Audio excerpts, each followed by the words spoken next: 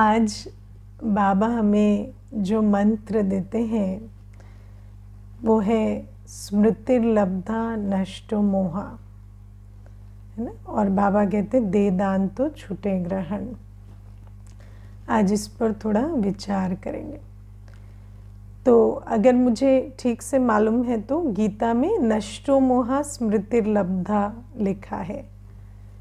पर बाबा कहते हैं स्मृतिर्लब्धा नष्टो मोहा। तो ये बहुत इंटरेस्टिंग है, क्योंकि बाबा कहते हैं कि जब तक स्मृति नहीं आएगी तो मोह नष्ट कैसे होगा? है ना? मोह अशुद्ध है ना? मोह तो विकार है, और मोह हमेशा पुरानी दुनिया से होता है। पुराने शरीर, पुराने संबंध, पुरानी दुनिया से, क्योंकि विकार का जो कनेक्शन है, वो पतीत से होता है है ना? पावन के साथ, बाबा कभी कहते भी ना, मुझसे मोह रखो तो कहते शुद्ध मोह रखो है ना? क्योंकि मोह शब्द बाबा के लिए नहीं आता, है ना? बाबा कभी ये नहीं कहेंगे कि ज्ञान रत्नों का लोभ रखो, है ना? क्योंकि हमेशा मोह, लोभ, अशुद्ध के लिए ही होता है है ना? तो ये जो अशुद्ध विकार है, विकार होते ही अशुद्ध हैं तो जो अशुद्ध है, उसका रुझान हमेशा अशुद्ध की तरफ़ होता है। तो मोह हमेशा विकारी दुनिया से होता है। मोह हमेशा पुरानी देह से होता है, पुराने संबंधों से होता है, पुरानी दुनिया से होता है। और बाबा कहते हैं मोह नष्ट कब होता है? जब स्मृति आती है।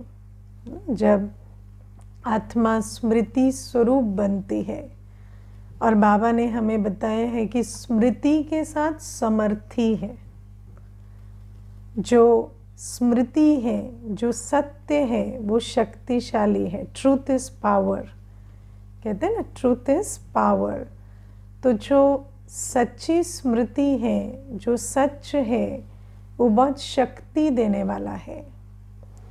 इसीलिए जब हम स्मृति स्वरूप बनते हैं, जब हमें सत्य की स्मृति आती है, और स्मृति कैसे आती है? बाबा दिलाते हैं, है ना? बाबा रोज़ हमें याद दिलाते हैं। अभी पीछे क्लास कराई थी ना, याद करते करते याद आ जाएगा, है ना? तो जैसे बाबा हमें रोज़ नई बातें सुनाते हैं। बाबा हमें वो बातें सुनाते हैं जो हम विस्मृत हो गए हैं। मुरली क्या है? हाँ मुरली में पहले पहले व्यक्ति सुनता है ना, मुरली तो क्या कहता है? पता ही नहीं चलता क्या कह रहा है बाबा। कोई अलग हिंदी बोल रहे हैं, लेकिन पता नहीं है हिंदी भी समझ में नहीं आती है, उसका भाव भी समझ में नहीं आता है, कुछ बुद्धि में बैठता ही नहीं है। क्यों? क्योंकि भाषा तो यहाँ की है, लेकिन बाबा कहाँ से बोल रहे हैं? उस डायमेंशन से बोल रहे हैं। बाबा किस अवस्था से बोल रहे हैं? ज्ञान सागर, पवित्रता का सागर बात कर रहा है। है ना? तो उनके जो संकल्प हैं, बाबा का जो माइंड है, बाबा की जो बुद्धि है, वो हमें समझने में भी बहुत टाइम लग जाता है कि बाबा कह क्या रहा है। क्योंकि हमें तो बाबा परम धाम नई दुनिया, आत्मा, इनके बारे में कभी सोचा था क्या ज्ञान में आने से पहले? कभी हमारे, है ना, ये सोच के रेडार पे ही नहीं थे ये सब कुछ। और बाबा की तो सारी मुरली इन्हीं के बारे में होती है। आत्मा के जन्म, आत्मा का स्वरूप, बाबा बाबा का धाम, है ना, बा, नई दुनिया तो बाबा कहते हैं ये जो डिफरेंट फ्रीक्वेंसी से डिफरेंट डायमेंशन से बाबा वो बातें करते हैं जो ट्रू है, शक्तिशाली हैं, लेकिन जिनको हम भूल गए हैं।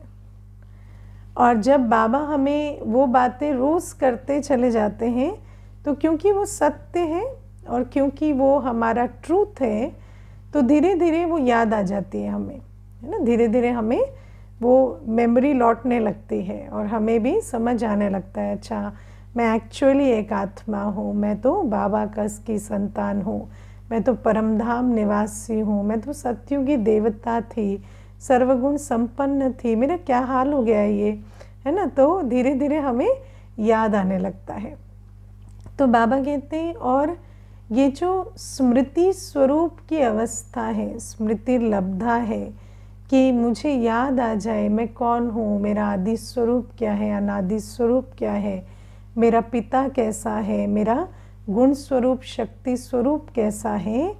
जैसे जैसे हमें याद आता जाता है तो वो याद की जो स्थिति है ना, स्मृति स्वरूप की जो अवस्था है, वो बहुत समर्थ अवस्था है। That is a powerful state है ना? तो स्मृति सो समर्थी। जितना हम स्मृति किसको कहेंगे? जो सत्य की स्मृति को। और सत्य की स्मृति जितनी आत्मा को आती जाती है, उतना आत्मा समर्थ स्वरूप बन जाती है। और जब समर्थ स्वरूप बन जाती है तो फिर ये जो अशुद्ध अशुद्ध कनेक्शंस हमने बनाए हैं, है ना? देखो, जब आपके पास बेस्ट नहीं होता तो आप क्या करते हो? सेकंड बेस्ट को चुन लेते हो ना? है ना? या बुरे को चुनते हो। तो जैसे आत्मा में शक्ति नहीं थी तो आत्मा ने क्या किया? पतित संसार, पतित देह, पतित संबंधों से बहुत मोह रखा। उनको आधार बना लिया, उनके साथ चल रहे थे। विकारों को अपने रस का आधार बना लिया, है ना? अपने जो भौतिक अस्तित्व को अपना अस्तित्व बना लिया। तो हम इस प्रकार से चल रहे थे, क्योंकि हमारे पास जैसे लंगड़ा होता है ना तो उसको क्या बैसाखी चाहिए ना? बैसाखी के बिना कैसे चलेगा? तो अभी वैसे तो अगर उसको ऑप्शन दिया जाए कि टांग चाहिए कि बैसाखी तो टांग ही कहेगा ना, लेकिन अभी उसके पास नहीं है तो क्या करेगा? बैसाखी से चलेगा। तो ऐसे बाबा कहते हैं, अब हमारी भी ये बैसाखियाँ बन गई, क्योंकि आत्मा जो है, स्मृति भूल गई, समर्थी खत्म हो गई, आत्मा कमज़ोर हो गई। तो आत्मा ने इन बैसाखियों का सहारा ले लिया, है ना? अशुद्ध मोह, अशुद्ध लोभ, है ना? विकार, इनका सहारा लिया आत्मा ने क्योंकि आत्मा तो आनंद स्वरूप है। तो आत्मा को इस धरा पर आनंद का अनुभव कैसे करे? तो फिर ये जो विकारों के आधार से अल्पकाल का सुख आत्मा अनुभव करने लगी।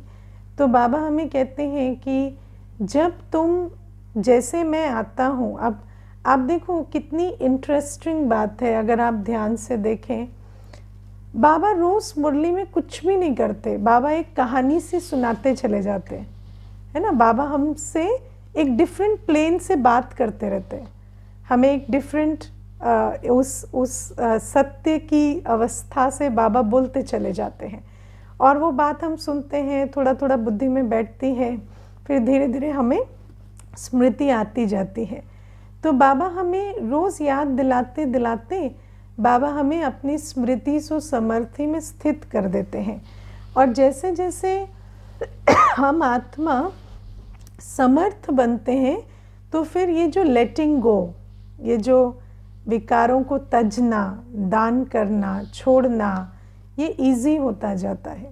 तो बाबा कभी हमें ये नहीं कहते जैसे मुझे याद है, जैसे कोई भी आएँगे सेंटर पर भी, कोई आते हैं ना तो पहले पहले पूछते हैं, आप लोगों के यहाँ क्या नियम है? कैसे चलना होता है?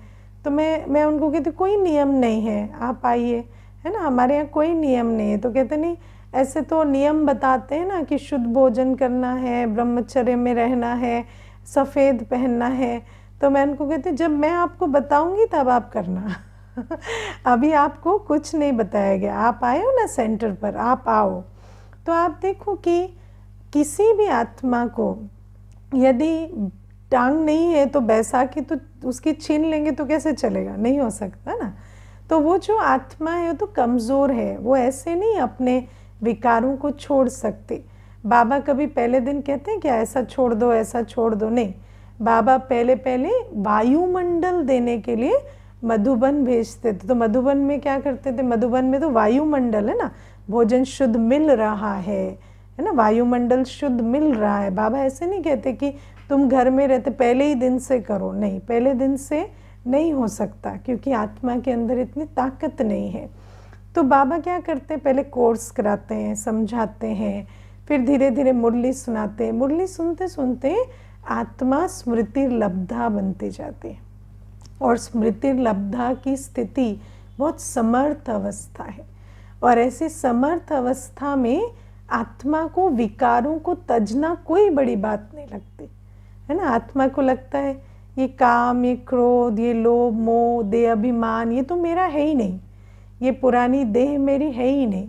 तो बाबा कहते हैं, ये जो जितना जितना हम स्मृति स्वरूप में, समर्थ स्वरूप में स्थित होते हैं तो जो मोह हमने बनाया है, अशुद्ध दुनिया से, अशुद्ध पुरानी पुरानी दुनिया से, पुरानी देह से, उस मोह से उठना, मोह नष्ट करना हमें इतना मुश्किल नहीं रहता, क्योंकि हमारे पास बहुत अच्छा सब्सटीट्यूट है। है ना? हमारे पास बाबा का प्यार है, बाबा का साथ है, ज्ञान का मार्ग है। तो बाबा कहते, पुरानी दुनिया की बातों को छोड़ना, संबंधों को छोड़ना है ना? बुद्धि से तजना। बाबा कहते रहना तो तुम्हें यही है क्योंकि तुम्हें सेवा करनी है। लेकिन बुद्धि से तुम लगाव मुक्त तो होना तुम्हारे लिए बहुत इजी हो जाता है। और इसीलिए आज बाबा हमें बहुत अच्छे से, बहुत सुंदर तरीके से कहते हैं कि तुम अभी स्मृति लब्धा नष्टो मोहा हुए हो तो तुम इस पुरानी खाल से, है ना, अपने आप को जैसे न्यारा करते हो। और फिर जो सत्युग में जैसे सर्प खाल छोड़ता है ना, ऐसे छोड़ेंगे। तो इस प्रकार से अभी जो आत्मा ने, देखो आत्मा और शरीर कहाँ कनेक्टेड है? यहाँ बुद्धि में। है ना? यहाँ बुद्धि में हमने कनेक्ट कर रखा है। तो बाबा कहते हैं, वो जो आत्मा, वैसे तो आत्मा अलग है, शरीर अलग है। है ना? आपने कई बार देखा है ना, कोई मशीन असेंबल होके आती है। तो आपको पता ही नहीं है कि ये खुल भी सकती है। है ना? मुझे याद है, एक मशीन थी मेरे पास भंडारे में तो वो खुल सकती थी, लेकिन मुझे पता नहीं था। तो वो धुलाई के लिए जब देते थे ना तो उसमें कुछ कचरा अंदर रह जाता था। तो मैंने उसको एक दो बार यूज़ किया, मैंने ऐसे ही छोड़ दिया। मैंने कहा, ये तो गंदी हो जाती है, अभी भोजन में इसको यूज़ नहीं कर सकते। तो मैंने उसको ऐसे ही रख दिया। फिर कोई आए तो उन्होंने मुझे सिखाया, दीदी, ये तो खोल के साफ़ हो जाती है, इसको ऐसे ऐसे खोल दिया करो ना तो ये पूरी साफ़ हो जाएगी, आप इसको कितनी भी बार यूज़ कर सकते हो। तो मुझे लगा अच्छा ये तो खोल के साफ़ हो सकती थी, मुझे पता ही नहीं है ना? तो कितनी सारी चीज़ें होती जो होती डिटैचेबल है, लेकिन हमें उसका ज्ञान नहीं होता। तो बाबा कहते आत्मा और शरीर, कोई कनेक्शन नहीं है। है ना? डिटैचेबल है। आत्मा अपनी आत्मिक स्थिति में स्थित होकर शरीर से न्यारी होकर बैठ सकती है। शरीर के प्रभाव से उपराम रह सकती है। जो सुनना चाहे, सुने, देखना चाहे, देखे, ना देखना चाहे, ना देखे। बाबा हमें कितना अच्छा एग्ज़ाम्पल देते हैं ना?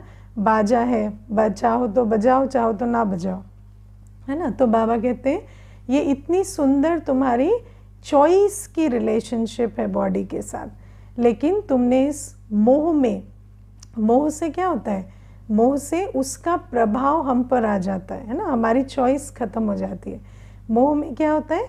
एक तरफा आप प्रभाव नहीं डाल सकते, आप प्रभावित भी होने लगते हैं, है ना? और प्रेम में क्या होता है? एक तरफा प्रभाव होता है।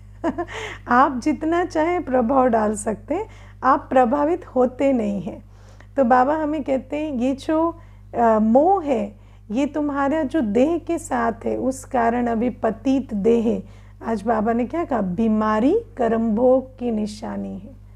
तो ये जो कर्म भोग शरीर की बीमारी के थ्रू आते हैं, वो बीमारी आत्मा को दुख देने लगती है। क्यों? क्योंकि शरीर के साथ मोह बहुत हो गया है।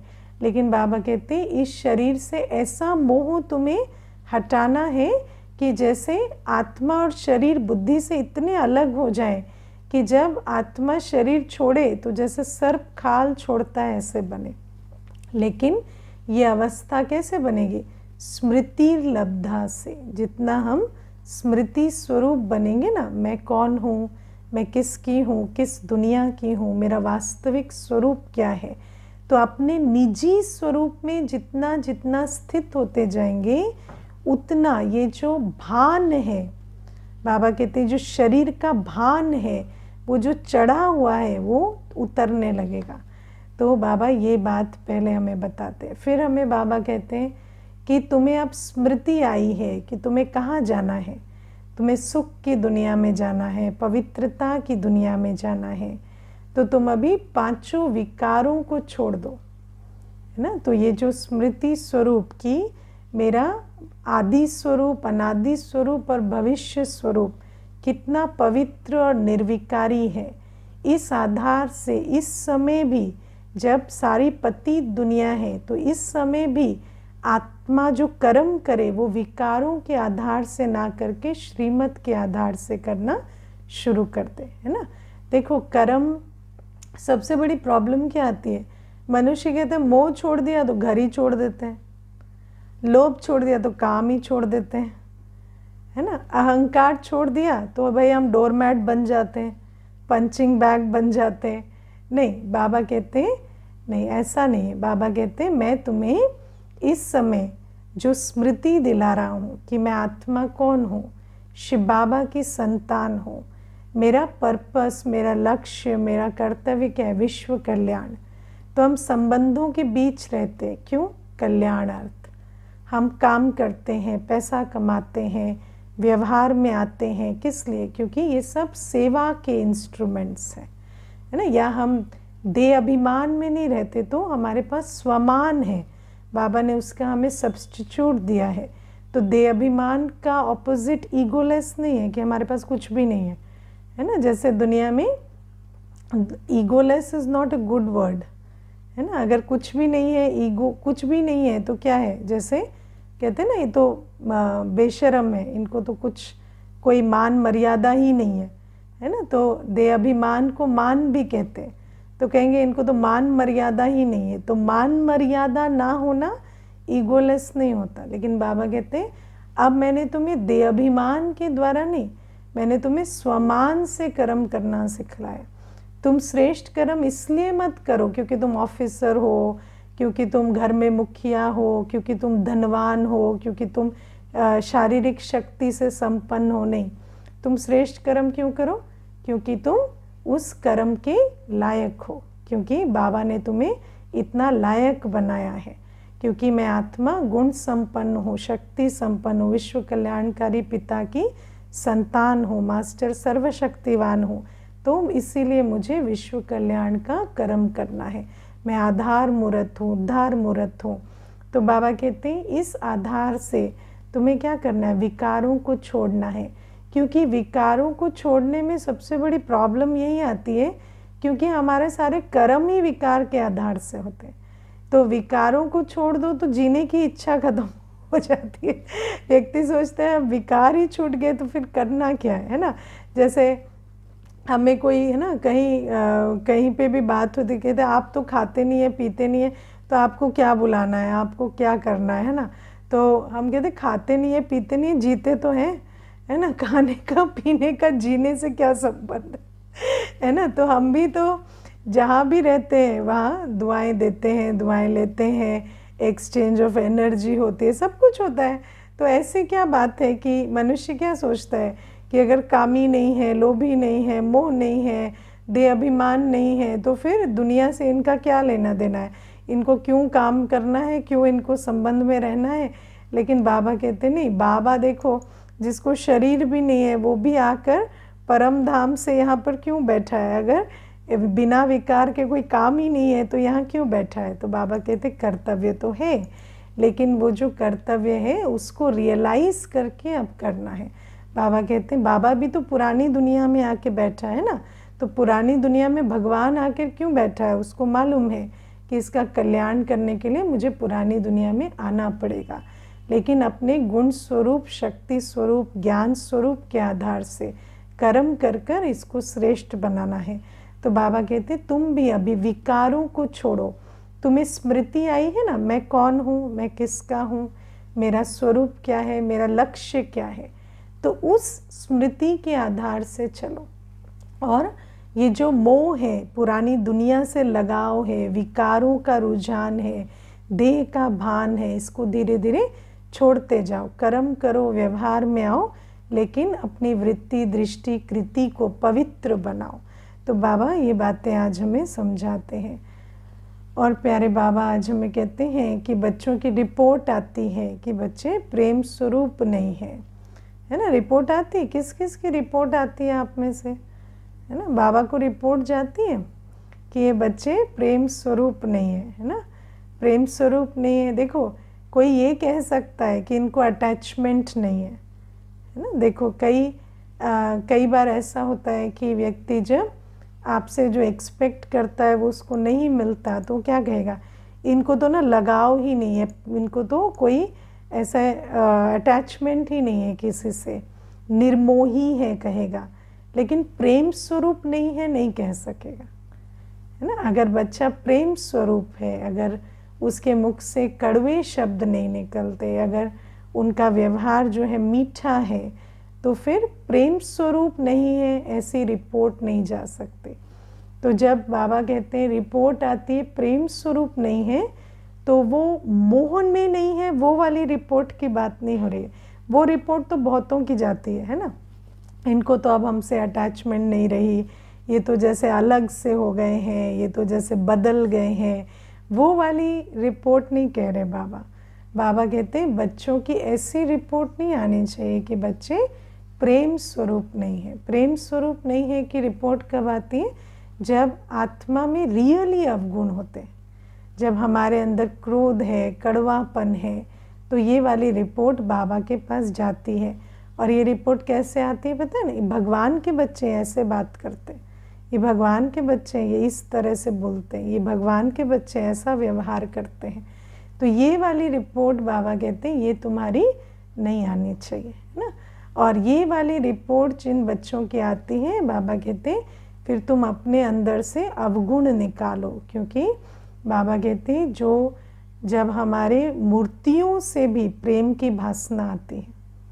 आज व्यक्ति देवी देवता के मंदिर में भी जाता है है ना? ऐसे भी मंदिर हैं जहाँ पर चेहरा भी नहीं बना होता, है ना? जहाँ, है ना? कई कई ऐसे भी मंदिर हैं जहाँ पर सिर्फ़ दो आँखें लगी हैं या कुछ ऐसा है तो लेकिन उससे भी प्रेम की भासना आती तो बाबा कहते हैं, तुम्हारे जड़ चित्र, जिनमें फुल चेहरा भी नहीं है ना, उनसे भी प्रेम की भासना आती तो बाबा कहते हो, तुमसे प्रेम की भासना ना आए, अच्छी बात नहीं। है ना? लेकिन प्रेम की भासना माना लगाव की भासना नहीं। प्रेम की भासना माना कोई भी आत्मा हमारे सामने आए तो उनको ऐसा अनुभव हो कि ये हमारा कल्याण चाहते हैं। ये हमारी उन्नति की कामना करते हैं। तो बाबा कहते हैं, ऐसे जो प्रेम स्वरूप भासना है, वो किससे आती है वो आती है आत्म अभिमानी स्थिति से। क्योंकि आत्मा अपनी ओरिजिनल स्थिति में प्रेम स्वरूप है। है ना? हमें अभी प्रेम क्या है नहीं मालूम। अभी मालूम है प्रेम क्या है। अभी इस दुनिया में प्रेम क्या होता है नहीं मालूम किसी को। लेकिन आत्मा अपनी ओरिजिनल स्वरूप में प्रेम स्वरूप है। तो वो जो ओरिजिनल स्वरूप में प्रेम स्वरूप आत्मा थी, उसको हम भूल गए, है ना? और प्रेम का सब्सटीट्यूट मोह और काम विकार, इसने वो स्थान ले लिया है। अब बाबा कहते हैं, तुम मेरी याद में रहो। है ना? तुम मेरी याद में रहो तो फिर से तुम वैसे बन जाएँगे जैसे थे। है ना? जैसे मैं कई बार विचार करती हूँ कि कई भाई बहनें क्या करते हैं बिना बाबा की याद के आत्मिक अभ्यास करते है। ना? देखा है? बाबा की याद नहीं है। बस आत्मिक अभ्यास है। मैं आत्मा हूँ, मैं शांत हूँ, मैं प्रेम स्वरूप हूँ, मैं सुख स्वरूप हूँ। अब सबसे बड़ी बात है कि मैं शांत स्वरूप आत्मा हूँ तो शांत स्वरूप आत्मा कैसी होती है? उसका रेफरेंस पॉइंट क्या है? इस दुनिया में कोई भी आत्मा शांत स्वरूप नहीं है। है कोई आत्मा? कोई आत्मा शांत स्वरूप नहीं है अभी। कोई आत्मा पवित्र नहीं है। कोई आत्मा नॉलेजफुल नहीं है। कोई आत्मा प्रेम स्वरूप नहीं है अभी। तो जब हम कहते हैं, मैं शांत स्वरूप हूँ, मैं प्रेम स्वरूप हूँ नॉलेजफुल हूँ तो उसका रेफरेंस पॉइंट क्या है? हम कैसे हैं? है ना? जैसे आप छोटी सी बात एक विचार करना। मानो मैं आपको कहूँ कि आप है ना, एक कछुए जैसे बन जाओ। ठीक है? आप कछुए की एक्टिंग करो। आपने कभी कछुआ देखा नहीं देखा ही नहीं है आपने कछुआ। तो आप एक्टिंग कर लेंगे उसकी। कछुए का स्वरूप बन जाएँगे। नहीं, आपने देखा होगा तो ना आप उसको कॉपी करेंगे। जब आपने देखा ही नहीं तो आप कॉपी कैसे करेंगे? मैं आपको कहूँ कि आप है ना, एक जैसे बाबा कहते, तुम देव आत्मा थे। अब देव आत्मा कैसे होते हैं हमें पता ही नहीं। तो हम देव आत्मा थे, सोचेंगे तो हमारे दृश्य क्या आएगा? देवता लड़ रहे हैं असुरों से। है ना? तो हम भी, हमारी भी बुद्धि का ये असुर है, इसके साथ लड़ते हैं। इस संकल्प में दे, मैं देव आत्मा हूँ, मैं, मेरी युद्ध इसके साथ हो रही है। तो आप देखो कि आत्मा के अंदर जो ज्ञान है, जो रेफरेंस पॉइंट है, क्योंकि हमारा जो रेफरेंस पॉइंट है प्रेम स्वरूप का, प्रेम स्वरूप कैसा होता है? हमारे जो दुनिया के हिसाब से, अभी तो हम ज्ञानी हो गए, अभी तो हम बाबा को याद करते हैं। लेकिन दुनिया के हिसाब से जब कोई प्रेम स्वरूप सोचता है तो प्रेम स्वरूप माना कैसा? इतना मीठा कि चिटी चढ़ जाए। है ना? इतना मीठा कि फिर थोड़ी सी बात होती है तो दिल खट्टा हो जाता है, क्रोध आता है एक्सपेक्टेशन दुख सब कुछ आता है। कहते हैं, हमने इतना प्यार किया, इन्होंने मेरे साथ ऐसा किया। अब हमसे कभी किसी के साथ लगाव ही नहीं होता है। है ना? तो हमारा प्रेम ट्रॉमा में रिज़ल्ट करता है। तो ऐसा वाला प्रेम नहीं। तो बाबा कहते हैं, इसीलिए तुम्हें जो भी बनना है, जो मैं तुम्हें आज्ञा करता हूँ ना, मैं तुम्हें कहता हूँ, तुम नॉलेजफुल बनो, पवित्र बनो, प्रेम स्वरूप बनो, शांत स्वरूप बनो तो वो बनने के लिए तुम्हें मुझे याद करना पड़ेगा। है ना? तुम्हें मुझे याद करना पड़ेगा, क्योंकि मुझे याद किए बिना तुम्हें उस स्वरूप का आइडिया ही नहीं है कि वो होता क्या है। और मुझे याद करने के लिए मुझे तुम्हें जानना पड़ेगा। किसी को बिना जाने तो याद नहीं कर सकते, है ना? बिना जाने याद कर सकते हैं। किसी को कभी देखा नहीं, सुना नहीं, उसका कुछ पता नहीं तो कैसे उसको याद करेंगे? तो बाबा कहते, मैं तो मुरली के द्वारा तुम्हें रिवील करता हूँ, मैं कौन हूँ, कैसा हूँ? तो बिना मुरली के बाबा की याद नहीं हो सकती। तो ये दो बातें हैं। एक, बिना बाबा की याद के आत्मिक अभ्यास नहीं हो सकता। बाबा हमें कई बार मुरली में समझाते हैं, इस समय तुम बच्चों को आत्म अभिमानी, परमात्म अभिमानी दोनों बनना पड़ेगा। आपने सुनी है ये पॉइंट है ना? बाबा कहते हैं, संगम युग में आत्मा सिर्फ़ आत्म अभिमानी नहीं बन सकती। संगम युग में आत्म अभिमानी बनने के लिए परमात्म अभिमानी बनना पड़ता है। बाबा की याद से और अपने को ईश्वरीय संतान निश्चय करने से हम अपने आप को निजी स्वरूप में स्थित कर सकते हैं। तो ये पहली चीज़ है। दूसरी चीज़ है, परमात्म अभिमानी बनने के लिए हमें बाबा को जानना, समझना, अनुभव करना आवश्यक है। वो अनुभव, वो जानना, वो समझना बिना बाबा की मुरली के नहीं हो सकता। तो कई बार जब भाई बहनों को पूछो ना, आप बाबा को याद करते हाँ? जी। मुरली सुनते नहीं। किस बाबा को याद करते हो? कौन सा बाबा है वो? हाँ? किसको याद करते हो? तो बिना मुरली के आपको बाबा पता कैसे चलता है? है ना? तो कहे, हम हम किसी को याद करते हैं, आप बीस साल से बात नहीं हुई है। ना तो बीस साल से बात नहीं हुई है तो याद क्या करते हो? बीस साल पहले की बात, है ना? तो वो तो अपडेटेड इन्फॉर्मेशन ही नहीं है। आप जिसको याद कर रहे हो, उसके पुराने वर्जन को याद कर रहे हो। वो अभी बदल चुका है है ना? तो बाबा कहते हैं, ये जो तुम याद करते हो मुझे ये तुम भक्ति में जो तुम मुझे समझते थे, उसको याद करते हो?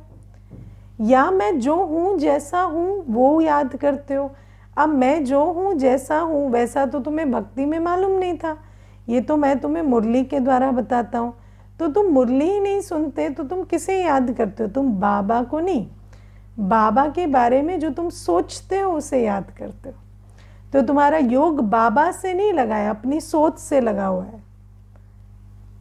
ठीक है? तो तुम्हें फल कितना मिलेगा? वो नहीं जो बाबा देता है, वो जो तुम्हारी उस सोच से मिलता है। तो इसीलिए बाबा हमें आज बहुत अच्छे से समझाते हैं कि तुम्हें मुझे याद करना है। जितने भी तुम्हारे बाबा आज कहते हैं, तुम पास विद ऑनर बनेंगे। तुम पास विद ऑनर कब बनेंगे? जब तुम मुझे याद करेंगे।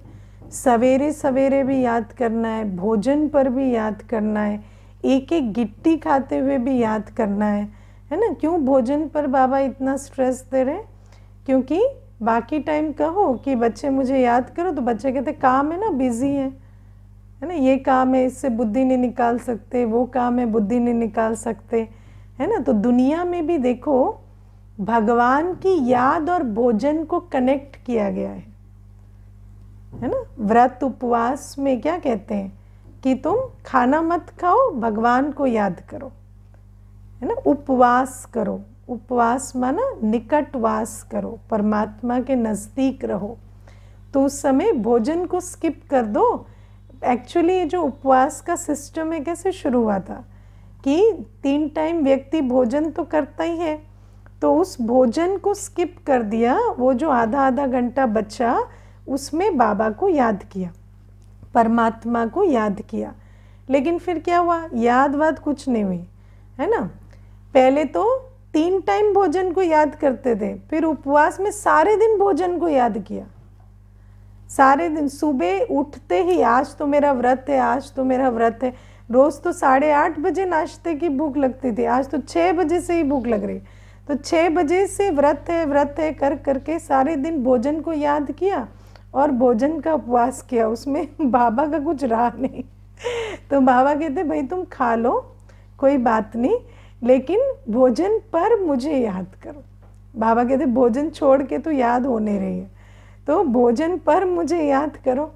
बाबा कहते एक एक गिट्टी खाते हुए तुम याद करो।